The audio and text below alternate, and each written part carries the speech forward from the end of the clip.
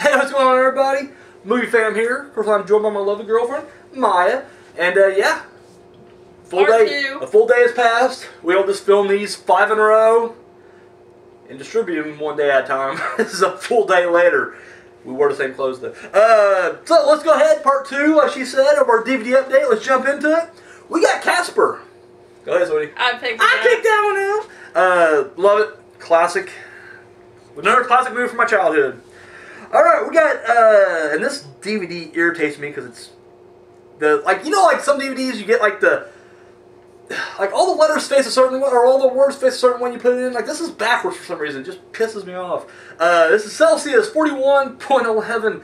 Um, so Fahrenheit nine eleven, which was like you know I like it, and I really, I really like it. I'm more on, I'm more on that side of you know that movie. Uh, but that's clearly, you know, it is liberal propaganda, and I'm, I'm, I'm all for it. So before you haters out there start shitting on me, I like it. This is the other side, though. This is like, you know, I guess, you know, fuck Roger Moore. I'm gonna say Michael Moore first. No, it is Michael Moore. Shit, Roger Moore's Bond. Okay. It's been a long, uh, it's been a long two days. So, anyways, uh, so Michael Moore, it's they're basically just taking a shot at him and everybody behind Fahrenheit 9/11. So this is like the opposite of Fahrenheit 9/11, I guess. Celsius 41.11. So, anyways, yeah, there it is. That's that's that. Uh, picked up for a buck, and I was like, why not? Let's just check out the uh, right propaganda now. So, uh, we got Chasing Amy, uh, Kevin Smith film. I do not like Chasing Amy. I just it just was not my movie. Didn't care for it. Where'd you get it? Well, because it was a dollar and it was a two disc Criterion collection. Criterion collection, two disc. Are you fucking shitting me? Two disc or one disc? Okay, it's one disc. But still, yeah, Criterion collection. That's like the. That's that's the holy grail of like DVD collections. And I was like, for a buck, and it's spotless, like not a scratch on it. I was like, I can't pass this up. So it is like they it's the one Kevin Smith film I'm big on, but I have only seen it once. Who knows? Maybe I'll mellow it out a little bit and I'll like it more the second time. So, but I had to get it. Couldn't pass it up. Got a Christmas Nightmare, cheesy fucking ghost movie, low budget. Chronicle. Uh, I enjoyed this. I thought it was a really good found footage. This you know came out before found footage was old news. So uh, I guess how you depend on. I guess people may have been sick of found footage by then, but I enjoyed it still. Still enjoy it to a certain extent. But uh, yeah, Chronicle liked it. Uh, Color Me Kubrick. Uh, I've only seen a trailer for this on another DVD altogether. Uh, and basically, like, it's it's like John Malkovich, who apparently he's he's like somebody wants to meet Stanley Kubrick for whatever reason, and he's not available, so they get John Malkovich to be Stanley Kubrick, but he doesn't know what. Mean, this is you know clearly in an age before DVDs and widespread media, so he doesn't know anything about Kubrick. So it's just his interpretation, which is so ridiculous. This is the front cover, like he just goes very flamboyant with it for some reason. Even though Kubrick was a very dark and brooding looking guy. Uh, once again, don't know shit about this movie other than the trailer. But I was like, Buck, I'm there. Alright.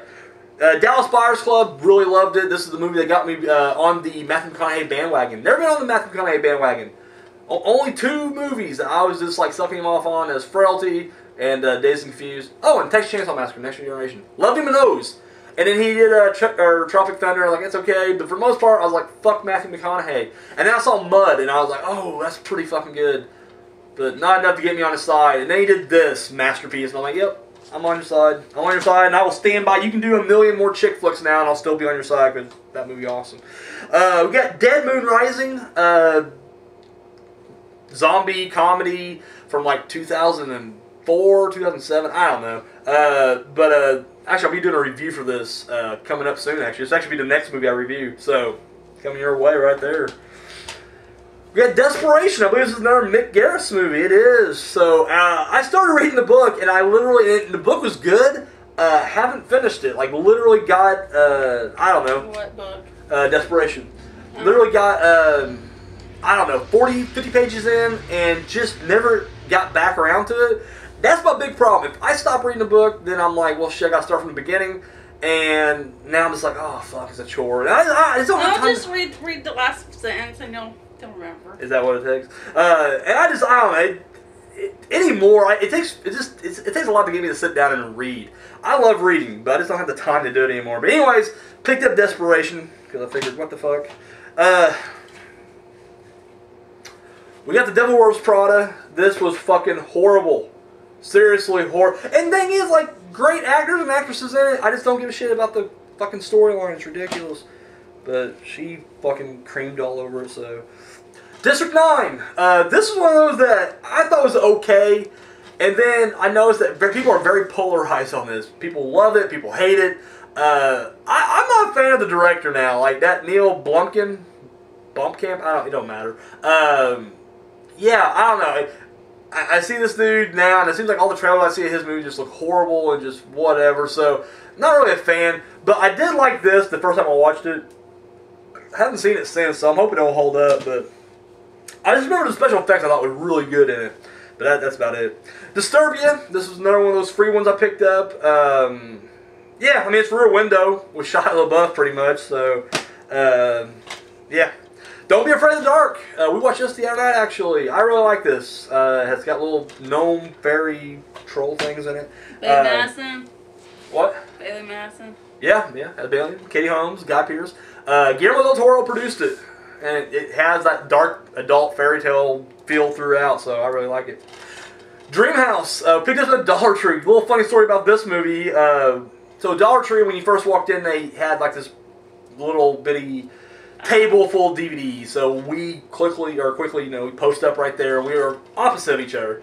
So we're just blindly throwing shit into the uh, cart. Yeah, I thought I'm like he's never gonna pick this out. Truth is, um, didn't want to see this. Uh, was not a fan uh, or of the trailer. I, I haven't seen it. I don't know much on, about it. It's on Netflix. It's, yeah, I mean, but uh, I just remember seeing the trailer and going, man, like I bet I could figure this movie out. And I can't remember now what the trailer is like, so I can't really give you guys like a here's what I think happens in the end. But I remember when I first saw the trailer, I was like, well, that's what the ending's to be. Fuck this movie, I already know it. Uh, however, dollar DVDs, I can't pass up. I picked it up, and then she also picked it up, so we had two copies. So we, we gave one to my uncle, so which I'm sure he'll get rid of in the next batch he gets rid of. Easy Rider. Uh, this is a movie I've always heard about. This is like the quintessential biker movie.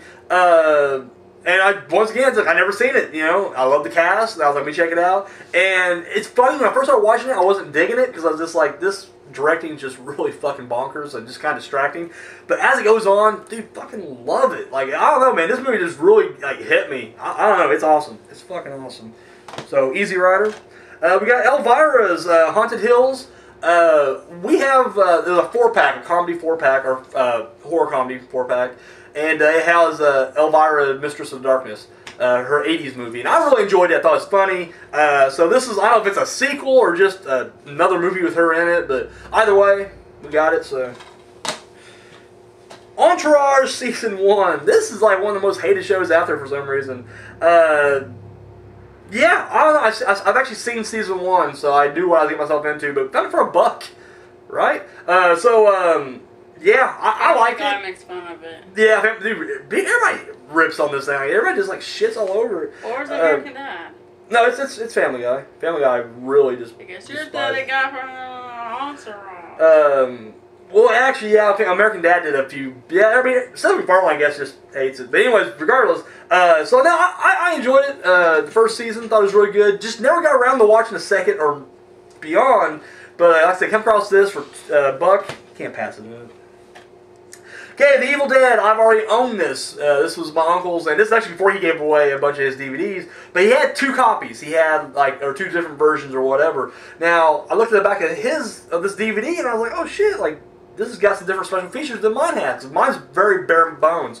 So like you care, you know, if you're getting rid of it, you care if I just take this one? He's like, no problem. So I get it home, and sure enough, I mean it's different from mine, but the disc is the exact same. So then I went back to him. I was like, well, maybe you get your discs mixed up, and he didn't. So he's like, no, because I bought that, unwrapped it, threw it in the uh, collection, and so for some reason, I got two Evil Deads with different cases, but they got the same fucking DVD in them. So, but still, yeah, whatever. Not crying over spilled milk. Get Hard. got this have one more. Who, who, who, picked it out? Me. She picked it out. Uh, I really liked it. Once again, Will Ferrell, Kevin Hart, they have really good chemistry. I thought it was funny. I enjoyed it. Now, I'm not one for picking up Blu-rays. I have not yet jumped over into that venture yet, but uh, every now and then we find them cheap, and sometimes you just gotta go, what the heck? And we uh, found this at the Family uh, video. Family video. Uh, we both enjoyed it. The gift. Uh, Jason Bateman's excellent in this thing. The other guy, uh, Joel Edgerton. Yeah. Director. Uh, yeah, he wrote, directed, and starred in it. Uh, he does really good, and I just I love the ending to this. I think it's just fucking brilliant. So uh, yeah, really enjoyed it. And finally, for today, we got the girl in the photographs. Uh, I picked it up. you picked it out. This was the last movie that Wes Craven produced before he passed away. Um, I'm not gonna lie, I wasn't super huge on it. It wasn't bad. It just it left me. I don't know. It's good. You used to have bad taste in movies. Is that what it is? Like it, it could be, could be. Um, I don't know. It just left me kind of wanting more out of it. Like I don't know. They ended it in a way where it's just like it was. I don't know, it was just very unsatisfying, and I won't say no more. I mean, it, it hasn't. It's pretty new. I think it's last year, so uh, I won't spoil it or anything. But uh, yeah, I, don't know, I just I, I wanted more out of it, I guess. So, but uh, whatever. We picked it up. It's, it's all good. Netflix. It is on Netflix, so. Alright, guys, all we got. Uh, tune in tomorrow for the third part of our uh, five part DVD pickup. So, sweet, anything else to add? And that's it. So, uh, for Mya, on the movie.